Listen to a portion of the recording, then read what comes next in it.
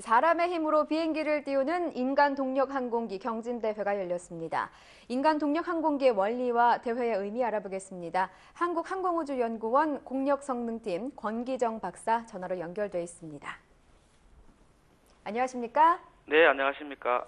네, 인간 동력 항공기, 이 사람의 힘만으로 움직이는 비행기인데 원료는 무엇이고 또 어떤 점이 가장 중요한가요? 아, 네. 원리는 그 사람의 근력으로 프로펠러를 가동해서 비행기가 날아갈 수 있도록 하는 것입니다. 예. 이때 조종사가 내는 파워가 항공기 무게를 이길 수 있을 만큼 되어야 비로소 비행이 가능하게 되는데요.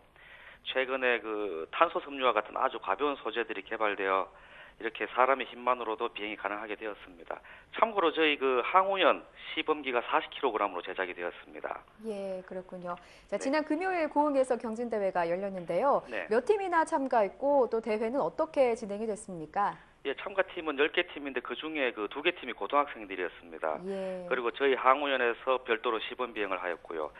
어, 이 인간 동력 항공기가 외부 바람 영향을 많이 받는 관계로 공항공센터에서 그 바람이 비교적 잠잠한 오전 시간에 음. 대회를 하려고 저희들이 아침 6시 30분부터 시작을 했습니다. 그리고 각 팀별 그 두 번씩 비행 기회를 주었고요.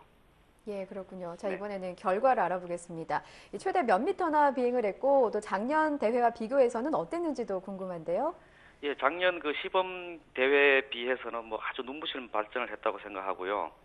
그 작년과 달리 올해는 이틀 전에 대부분 학생들의 기체가 제작이 완료되었고 예, 또 활주로에서 비행 연습도 수행한 학생들이 많았습니다. 예. 근데 대회 결과는 아쉽게도 그 시상 기준인 150m에 울산대학교가 20m 못 미친 그 130m를 비행해서 1등상 못 받았지만 음, 그 작년도에 겨우 1억 한 것만 감안한다면 아주 훌륭한 결과라고 생각을 합니다. 예. 그리고 저희 항우연도 작년 시범 비행에서는 240m를 날았는데 올해는 291m를 비행했습니다. 어, 작년보다 뭐 훨씬 더 앞으로 많이 나간 셈이네요. 네 네 그렇습니다. 네, 앞으로도 대회가 계속될 예정일 텐데요. 이번 대회에 어떤 의미가 있을까요? 네, 그 차기 대회 개최 여부는 뭐 저희 항우연 내부에서 이제 논의를 거쳐서 결정이 되겠지만 아마 예. 계속될 것으로 생각되고요.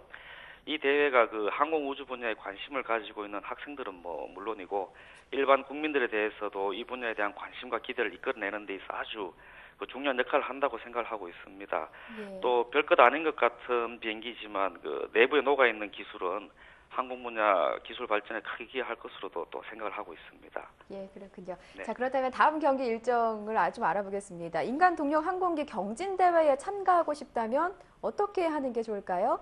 예, 아마 올해도 12월 중에 내년도 대회 관련 공지가 있을 것으로 생각하고요. 예. 참가를 원하는 학교나 개인은 그 제작하고자 하는 항공기 기본 설계 자료를 저희 항우연에 제출하시면 예. 공정한 평가 절차를 거쳐서 어, 최종 출전팀으로 선정되게 됩니다.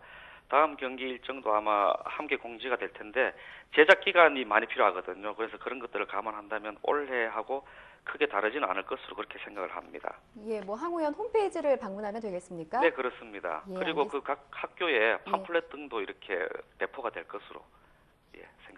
예, 그렇군요. 자, 많은 학생들이 좀 참여했으면 네, 좋겠습니다. 그렇습니다. 네, 지금까지 한국항공우주연구원 권기정 박사였습니다. 오늘 말씀 고맙습니다. 네, 감사합니다.